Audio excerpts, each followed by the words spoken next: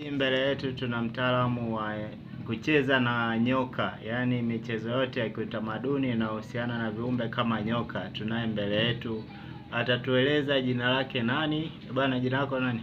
Eh, Naona kwa jina mimi naitwa Hussein Rashidi, lakini kwa jina la kitaalamu kabisa ni Mieli. Ah, sawa. Hao nyoka unaocheza nao ni nyoka wa aina gani? Hao nyoka unaocheza nao, nina nyoka moja mkubwa sana anaitwa chatu. Mwingine? Chatu huyo kuna swira ambaye ni nyoka ambaye mwenye kupanuka kichwa hiyo anarusha mate. Ndio. Basi kuna nyoka mwingine koboko, lakini koboko ambaye anayeogopeka sana yule nyoka, lakini kwangu ni mchezo wa kawaida Sawa sawa. na nacheza naye vizuri. Hao- Hao nyoka samani, hao nyoka wanaalishwa vitu gani?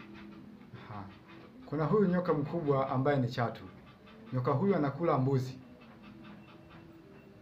anakula mbuzi, ila wakati huo huyo nyoka mwenyewe anatakiwa mbuzi mwenyewe napomleta pale usimuue, ataua mwenyewe basi na kujitengenezea chakula yeye mwenyewe. Na huyo mbuzi analiwa baada ya muda gani?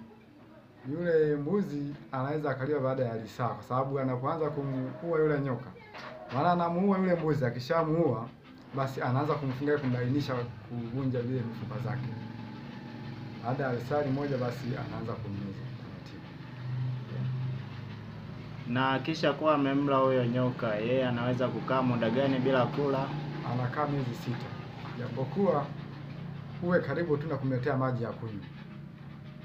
Kila baada ya wiki mbili natakiwa mpatie maji ya kunywa. Na maji anakunywa kiasi gani? Maji nafikiri hata lita haifiki, anakunywa maji kiasi Na baada ya hapo anakaa wiki mbili tena. na baada ya hapo anakaa wiki mbili tena, nusu lita ya maji anatumia. Nyoka wengine kama koboko wenyewe wanatumia kiasi gani? Ah, yule nyoka kama koboko, ili hata nusu lita ya maji haifiki. Chakula aina Chakula gani? chake anakula kuku wale wadogo vifaranga, Na wenyewe miezi miwili mpaka mitatu, anakula vifaranga wanne watano.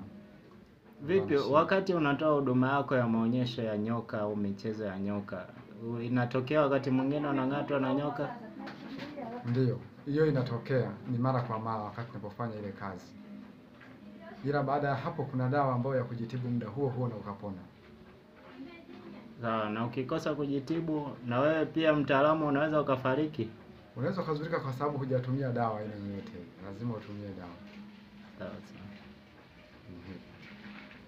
Sawa.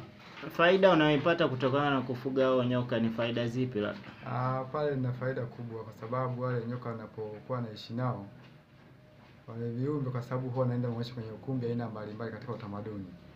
Nikishafika kwenye ukumbi pale, basi nachangiwa kiasi cha pesa kama elfu moja moja kwa kila mtu. Kwa hiyo pale faida inakuwepo ya kutosha.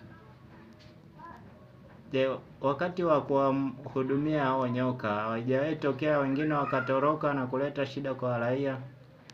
Hapana, yule nyoka anapokuwa kakaa muda mrefu nyumbani, Mm. basi ninao uwezo wa kumruhusu akaenda kujitafutia chakula na nina uwezo wa kumwita na akarudi tena nikamkabili nikaishi naye. Sawa sawa. Namna ya kumwita kuna lugha au kuna njia tu ya kitaalamu? Njia ya kitaalamu Sawa sawa. namuita kwa njia ya kitaalamu, natumia dawa na narudi. Sawa sawa. Basi ni hayo tu, tunashukuru. Asante sana.